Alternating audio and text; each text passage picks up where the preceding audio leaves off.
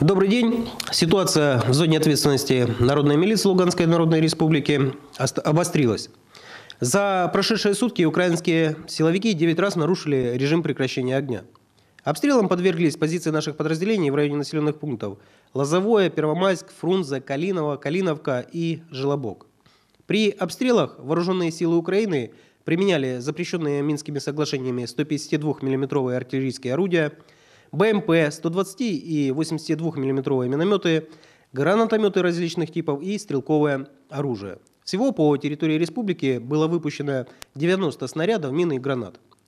Прошу обратить ваше внимание на подтверждение украинскими СМИ нашей вчерашней информации о самовольном оставлении части военнослужащим 14-й бригады Вооруженных сил Украины, который, не выдержав издевательств со стороны командира роты, сбежал с боевой позиции – прихватив штатное оружие АК-74. В вооруженных силах Украины продолжается рост небоевых потерь.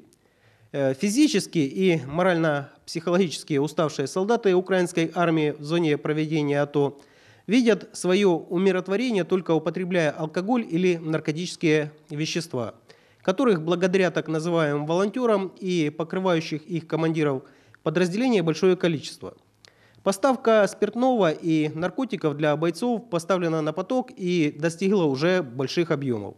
Груз такого рода под видом э, волонтерской помощи попадает в зону так называемой АТО на военных автомобилях, которые не подлежат досмотру сотрудниками правоохранительных органов. Самое страшное то, что командиры всех степеней и рангов крышуют доставку этой веселой смерти бойцам, так как имеют с этого хорошие откаты. Так, на фоне вышесказанного 24 октября в одном из подразделений 53-й бригады вооруженных сил Украины от передозировки героином скончался один военнослужащий. Также стало известно, что смерть этого бойца пытается отнести к осложнению заболевания воспаления легких. На врача местного медицинского учреждения со стороны командира оказывается давление. В свою очередь, Народная милиция Луганской Народной Республики, несмотря на постоянные провокации со стороны украинских силовиков, соблюдает взятые на себя соглашения по возвращению мира в Донбасс. Наши подразделения непрерывно несут боевое дежурство, постоянно проводят занятия по боевой подготовке с целью поддержания высокой боеготовности для противодействия любой агрессии со стороны Украины. Спасибо.